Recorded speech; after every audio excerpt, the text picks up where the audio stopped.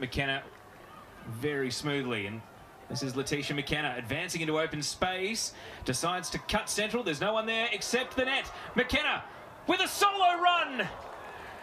And it's saved by Langman at the near post. Best chance of the game so far. And Leticia McKenna was allowed to roam forward and very nearly made it work. She certainly was, and she does such a good job at picking up the ball between the lines there. She runs with good positive intent, uh, a little bit isolated. As you see, that touch takes her away from the goal, so she's probably got to show a little bit more patience there um, and, and recycle, but fantastic effort by McKenna. We mentioned that one-on-one duel earlier in the game. Mastrantonio still following Galich everywhere.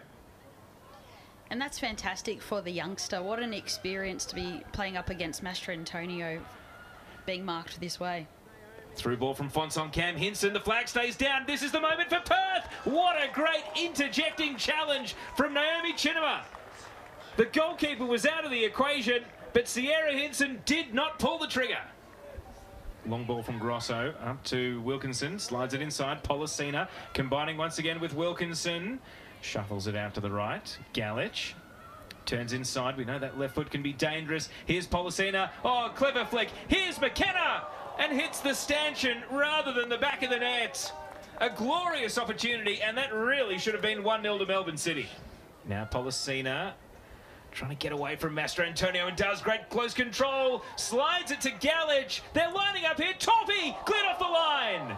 Mastrantonio comes up with a vital vital stop. So often there, I mean, that's come off the shin. You, you'd be forgiven for shanking that into your own net, and instead she's able to make clean contact at an awkward height to get the ball away.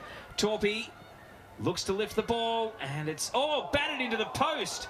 Langman almost with a brain explosion there. It looked like it was a catchable ball, but in the end she went for a punch. Cutting back, Wilkinson, Torpey, Pollicina, first touch promising, body check, penalty.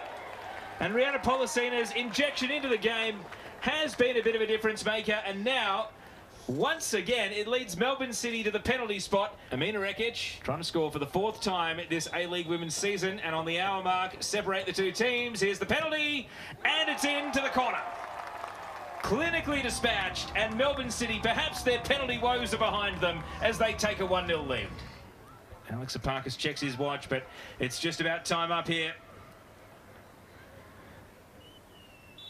And Melbourne City have held on for three hard-fought points. Perth Glory made them earn it with a full-time score of Melbourne City 1, Perth Glory nil.